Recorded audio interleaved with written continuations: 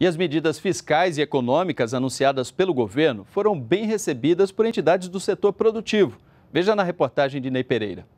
As medidas econômicas anunciadas pelo governo nesta terça-feira para diminuir o endividamento e retomar o crescimento do país foram bem recebidas pelo setor empresarial. Para a Federação das Indústrias do Estado de São Paulo, as medidas são importantes para fortalecer a economia a longo prazo e deve aumentar a confiança dos empresários. Para o presidente da Fiesp, Paulo Scaff, uma das decisões mais importantes é a que limita os gastos públicos. Se essa medida tivesse sido feita há 10 anos, hoje a dívida pública do governo federal seria de 600 bilhões de reais e não 4 trilhões, ou seja, seria sete vezes menor.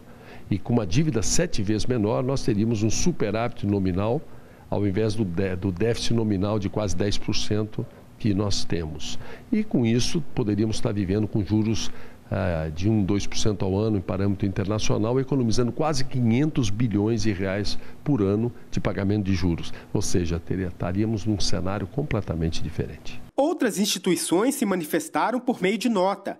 O presidente da Federação Brasileira de Bancos, a FEBRABAN, Murilo Portugal, disse que as medidas anunciadas deverão contribuir no médio prazo para recolocar a dívida pública em uma trajetória sustentável. Para a Confederação Nacional da Indústria, o anúncio é significativo por não ter sido incluído no pacote o aumento da carga tributária. Já a força sindical diz que as medidas são positivas porque visam o crescimento, a queda do desemprego e das taxas de juros. Entre as medidas anunciadas pelo governo estão uma proposta de emenda à Constituição para limitar os gastos públicos, o pagamento de dívida de 100 bilhões de reais junto ao Tesouro Nacional pelo BNDES, a extinção do Fundo Soberano, diminuir a participação da Petrobras na exploração do pré-sal, não dar subsídio a novos programas de governo, criar critérios rígidos para a nomeação de dirigentes dos fundos de pensão das empresas estatais, além da reforma da Previdência Social. Este professor de finanças concorda com as mudanças. Segundo ele, a indicação de dirigentes de estatais e fundos de pensão